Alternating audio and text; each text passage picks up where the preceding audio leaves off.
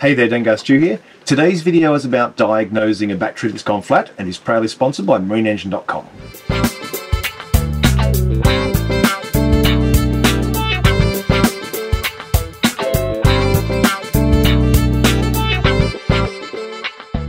There are plenty of reasons why a battery can go flat, you know, ranging from leaving the lights on through to the battery itself being dead and not able to hold a charge. In this video though, we're going to look at a particular boat that had this problem and diagnose what's going on with that boat. Good morning. I'm on the 70 horsepower that we welded up in a previous video.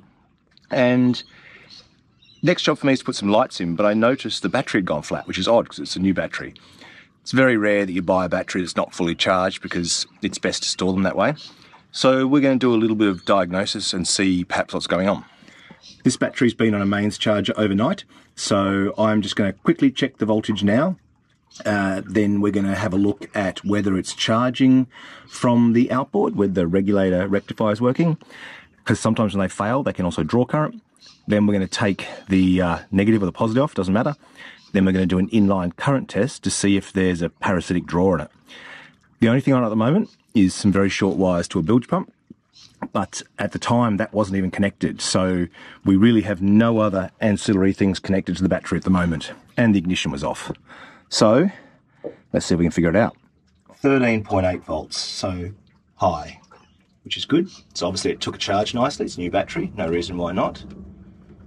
What I'm going to do now Sorry, the screen's not very bright on this uh, multimeter. 13.8. Let's see what it is with the engine running and the fast idle up.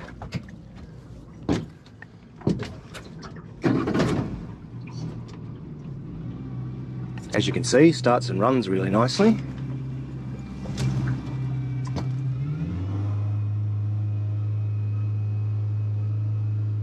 The surface charge on the battery would have gone when we cranked it. So if you've just charged a battery and you're doing a battery test, in a car, for example, they say turn the headlights on just to try and knock that surface charge off, that inflated voltage reading that's not really a true true sort of body reading, I guess you call it. When I turned the outboard off, the voltage actually went up again. So it looks as though the engine, when it's running for spark and EFI, high pressure pump, all that kind of stuff, is drawing power from the battery not from the regulator rectifier. So let's, uh, well, actually, what I'm going to do first is I do want to do the parasitic check to see whether it's drawing power when it's not running. Apparently, when these regulators fail, they can both not charge and draw power. So let's have a look if any current's going out of the battery at rest. All right, let's do it on the negative side. A voltage check is done in parallel. You're seeing how much voltage drops from one point in the circuit to another point, and it drops proportional to the resistance. So it's a really good way of checking for a high resistance circuit, as well as uh, you know seeing how your battery's going. Now, when you do a current check, you do it in series. So you go from the battery into your multimeter, out of your multimeter into the lead. So all the current is actually passing through your multimeter. Because of that, it's fused. So if you draw a big load, like try and crank, you're just going to blow the fuse in your multimeter. But in this case, I'm just looking if there's a small parasitic drain on the battery. So see what we get. Here we're in a voltage check. So I'm going to swap over here to, let's go milliamps to start with. Then I need to change the mode on the multimeter. Not that I have any idea how to use this multimeter yet. Cut, cut. All right, we're back. We're in DC milliamps. It even shows you at the top there which sockets to use for this setting, so that's good. You probably can't see that, but we've got a 28 milliamp draw all the time. You can see here on the flywheel cover, this yellow fuse here is rectifier regulator. When we first went to start the engine after fixing it, this fuse was blown, hence the spare's gone that's in here. It's not blown now, but it makes me think that it blew because of an issue. So we're starting to see a bit of a pattern of clues and symptoms now. What I'm going to do now is disconnect the regulator rectifier and see if the parasitic draw disappears, if those 28 milliamps go to zero. Okay, regulator rectifier disconnected. Let's see what we've got in the way of a current draw now.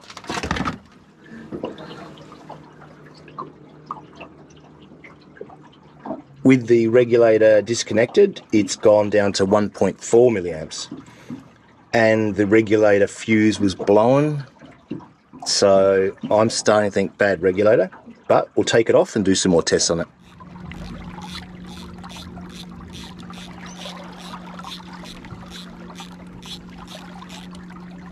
Got it. Didn't drop it. It's a win. Bit of a rainy day today. I think we're going to be in for a lot of rain over the next five days or so. So let's take a look at this regulator rectifier in the workshop here. This is the regulator rectifier we took out of the boat.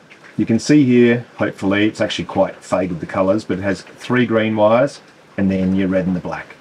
The green wires are coming in from the coils under the flywheel, so you've got your sort of AC current in, and your red and black is your rectified DC current coming out. What we need to do is check whether there's continuity between the red and these various wires in both directions. These rectifiers work via a series of diodes. I've got a separate video on how they work for a single phase rectifier. This is a three phase. Uh, so we need to check whether we've got continuity going between red and a green and then green and then red. Should only have continuity in one direction. To do this, we're going to go to the diode check mode and we're going to put the black wire from our multimeter onto the pin for the red wire and then we're going to touch all the green wires. In this case we've got about a half volt drop so current is flowing, we're dropping half a volt over the diode. All of these semiconductor junctions have a voltage drop so that's normal. Then we've got about a 5 volt drop over that green wire and about a 5 volt drop over that green wire. So, so far everything's pretty normal. Now we're going to test in the opposite direction. So we've got the red wire from the multimeter to the red wire from the rectifier and we're going to put the black wire onto the three greens.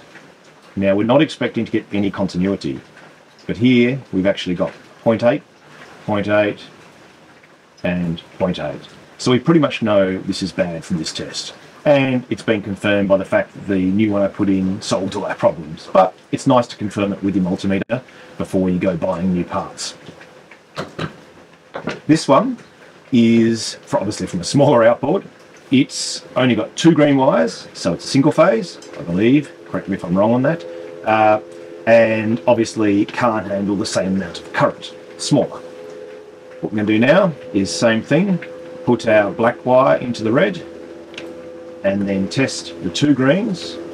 Here, once again, slightly lower voltage drops or better, you know, lower resistance as such. Well, it's not really resistance with semiconductor drops. I'm sure some electronics expert will tell us exactly what it is, but it's to do with their NP or PN joins.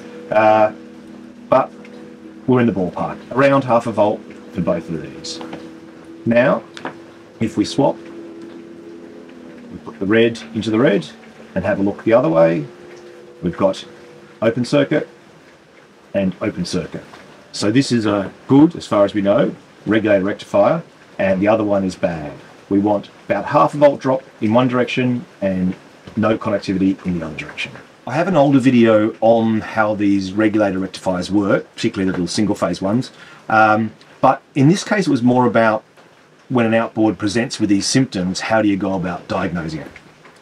This was going flat because A, it wasn't charging and the rectifier was actually drawing current all the time.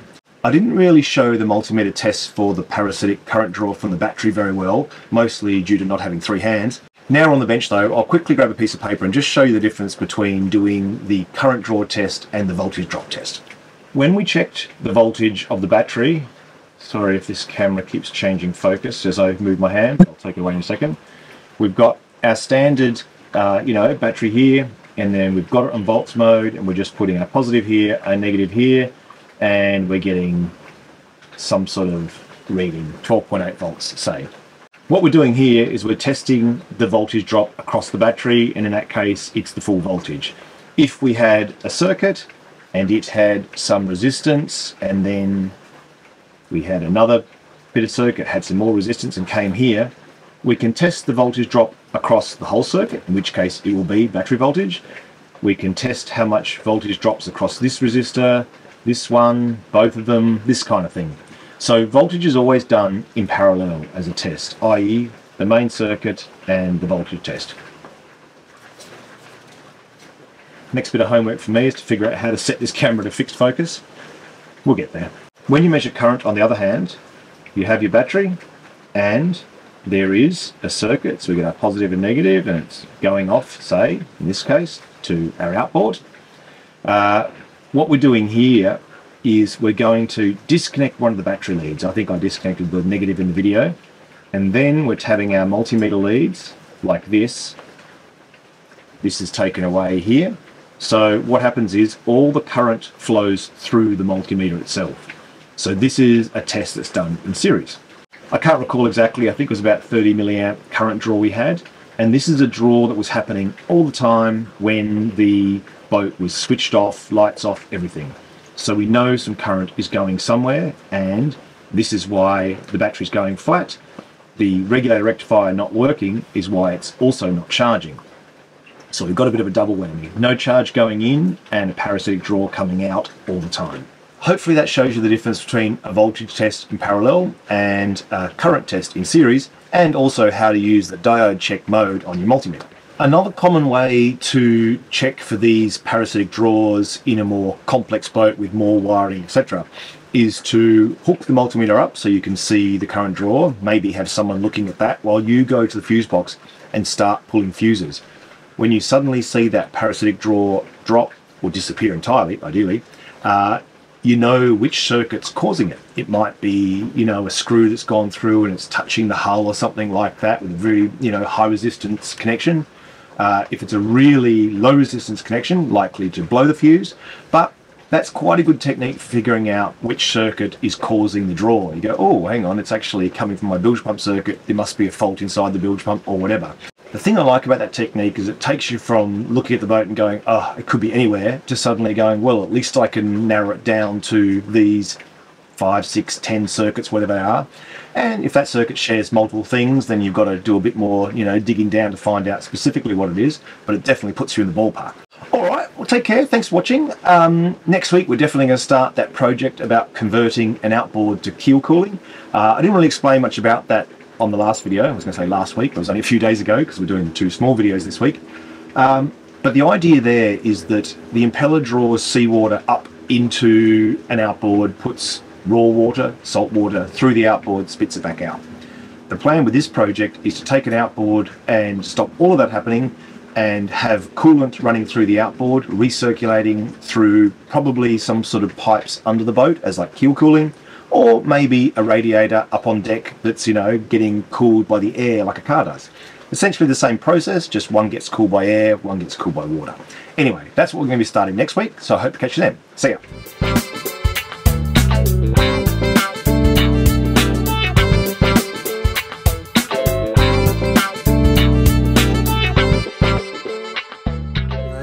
Very happy about this rain situation, are we? Uh, shouldn't have done that, hang on. There you go, Daisy. You can have some that she's not going to take off you, madam. Everyone's hiding from the rain. Bit miserable today. It's going to rain for quite a while.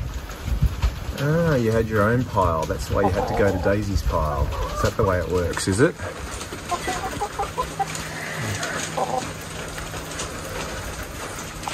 What's wrong with your pile?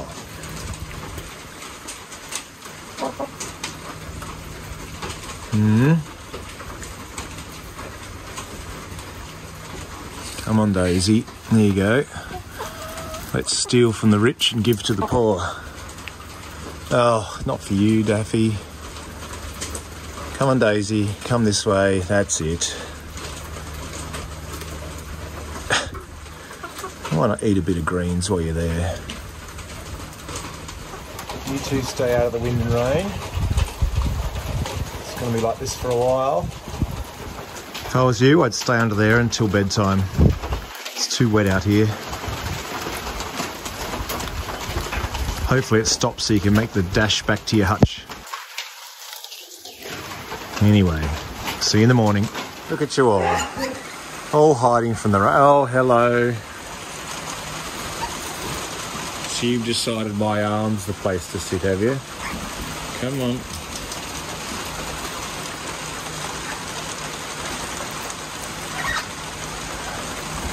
The brave ones get the seed, don't they? You could eat a bit faster, that'd be nice.